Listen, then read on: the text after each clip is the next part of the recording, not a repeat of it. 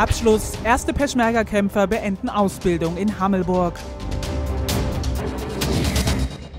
32 kurdische Kämpfer haben ihre einwöchige Ausbildung in Deutschland beendet. Deren Ziel war der sichere Umgang mit der Panzerabwehrwaffe Milan. Zum Abschluss der Ausbildung in Hammelburg konnten die Soldaten ihr Können im scharfen Schuss unter Beweis stellen. Ich zähle runter. Drei, zwei, eins, Feuer!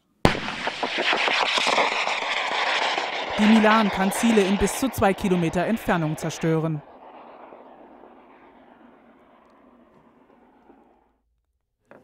Im nordirakischen Erbil hat unterdessen die Einweisung in die gelieferten Handwaffen begonnen. Immer wieder üben die Soldaten das Bedienen und die Pflege der Gewehre sowie das Schießen. Nach der Einweisung sollen diese 20 Kurden als Multiplikatoren in weiteren Ausbildungseinrichtungen der Peschmerga ihr Wissen weitergeben.